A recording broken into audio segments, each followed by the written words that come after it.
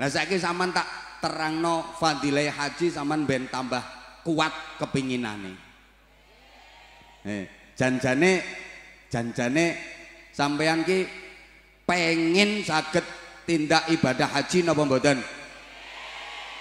Saestu tenan yakin kok gak nang mangkat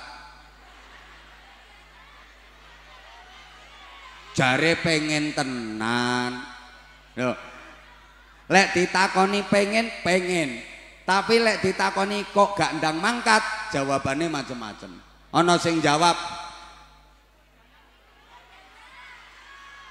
sangune dereng cekap dereng gadah sangu. Ngapunten saman kok jawab dereng gadah sangu sangune dereng cekap. Saman wis mulai ngelumpukno napa dereng lha kok ngono kok dereng cekap Saman ngomong sangune dereng cekapi pantes nek wis mulai ngelumpukno nembe angsal sekedhik dereng cekap ditamel daftar kuwi pantes jawab dereng cekap. Neng kowe ora tau ngelumpukno kok jawab dereng cekap.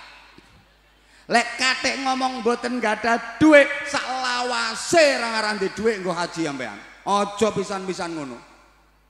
Hmm, mikir wonge. Ana maneh sing gregetno jawabane, dereng dipanggil kok. Lho kan haji niku panggilan. Sugiya kaya apa nek ora dipanggil ya ora iso budal. Najan ketoke ra patek sugih nek dipanggil ya budal. Mergo haji niku panggilan. Melane jawabe dereng dipanggil. Ayo saiki tak takoni jawab sing kompak sing banter. Jenengan pengen cepet dipanggil napa mboten? Pengen cepet dipanggil napa mboten? Dipanggil malaikat Israel.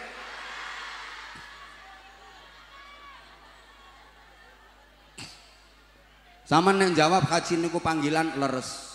Panggilannya Gusti. Panggilannya Gusti. Tapi zaman kudu ngerti, panggilannya Allah untuk haji bagi manusia itu diabadikan dalam Al-Qur'an. Lah Al-Qur'an bendino diwaca, Al-Qur'an bendino diunekno, ya apa-apa diwaca. Berarti yang bendino sampean dipanggil, ya apa-apa dipanggil. Ayat kuwi lho, ya apa-apa diwaca wong mulai jagat etan sampai jagat kulon maca Qur'ane ora tau mandek kok Walillahi 'alan nasi hajjul baiti man istata'a ilaihi sabila. Kuwi panggilan kuwi abadi dalam Al-Qur'an dan terus dibaca. Wa atimmul hajja wal umrata lillah. Iku ya panggilan abadi dalam Quran terus dibaca. وأذن في الناس بالحج يأتوك رجالا وعلى كل ضامر يأتين من كل فج عميق itu ya panggilan untuk haji abadi dalam Al-Quran dan setiap saat dibaca janjane sampan ki setiap waktu dipanggil kok ora krungu kopok kok ora krasa nek dipanggil ndablek lho kok ora ngerti nek dipanggil Oon. Para oon-oon sekalian. Deh, omonganku ki nek salah bantahan ra apa Ayat sing kula waos niku sik sebagian panggilane Gusti Allah bagi manusia untuk haji dan umrah. Lah kuwi ditulis no Quran, kuwi diwaca terus. Berarti kan panggilane kuwi terus. Halo? Embuh ra semangat tok. Lanjut mboten? Oke. Sama nek pengen dipanggil kuwi ana aturane. Wong haji niku padha karo wong mara dokter. Ora ora ngira sampean kok mara-mara diceluk karo dokter dipanggil ya ora ana aturane.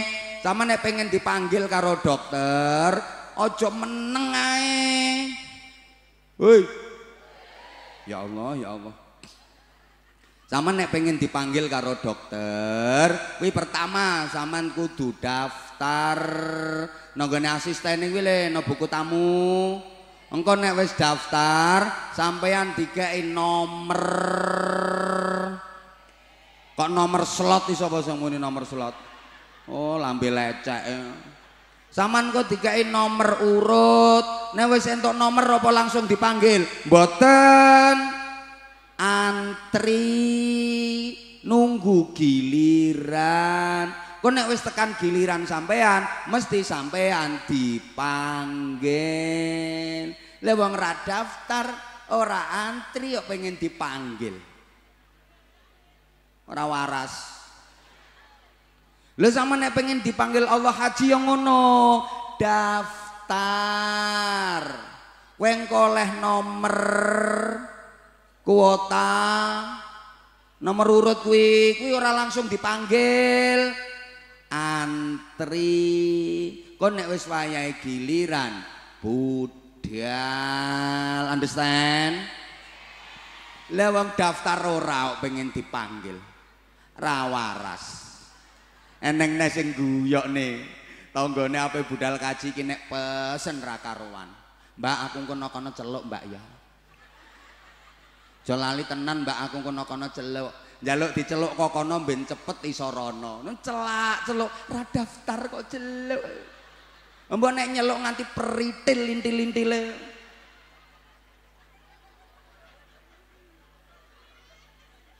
Tiwas katok nyeluk. Paham mboten? Paham mboten? Eneng nesing titip rambut, titip foto kon mendem kono. Kuwi ijazahe dukun ndi titip rambut titip foto kon mendem kono ben cepet nyusul rono koplak koplak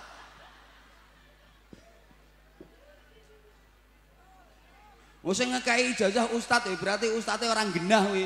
Ustaz Radunung kuwi.